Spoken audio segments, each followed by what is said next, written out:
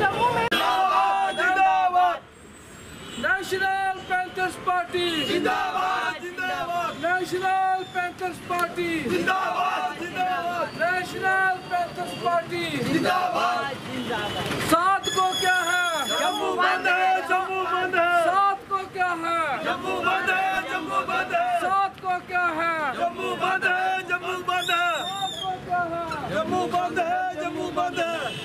सात दिसंबर को क्या है जम्मू बंद है जम्मू बंद है सात दिसंबर को क्या है जम्मू बंद है जम्मू बंद है सात दिसंबर को क्या है जम्मू बंद है जम्मू बंद है सात दिसंबर को क्या है जम्मू बंद है जम्मू बंद है सात दिसंबर को क्या है जम्मू बंद है जम्मू बंद है सात दिसंबर को क्या है जम्मू बंद है जम्मू बंद है सात दिसंबर को क्या है?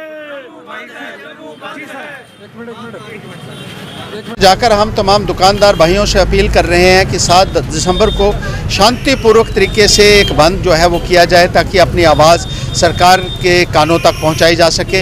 इंटरनेट को बैन किए हुए चार महीने से ज़्यादा हो गए हैं। इसी तरीके से जो टोल प्लाज़ा है सब लोग उसकी वजह से जो है आहत हुए हैं। लोगों का मानना है कि ये टोल प्लाज़ा खोलकर लोगों के जेब के ऊपर एक डाका डालने की कोशिश की जा रही है। महँगाई आसमान छू रही है।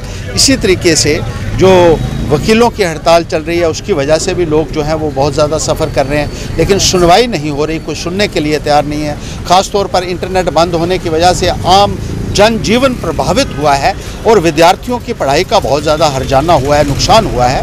तो सरकार इसके ऊपर जल्द से जल्द जो है वो गौर करे, इसको खोले। इसीलिए अपनी बात को सरकार तक पहुँचाने के लिए, एक शांतिपूर्वक तरीके से रोष का इजहार करने के लिए पैंथर्स पार्टी ने सात दिसंबर को बंद की कॉल दी है। उम्मीद रखते हैं कि इसमें व्यापारी वर्ग जो है वो समर्थन करेगा, ट्रांसपोर्टर्स करेंगे युवा करेंगे, आम नागरिक करेंगे, ताकि इस समस्याओं जो जो भी आज की तारीख में जम्मू के लोग महसूस कर रहे हैं, उनसे निजात मिल सके, उनका समाधान हो सके।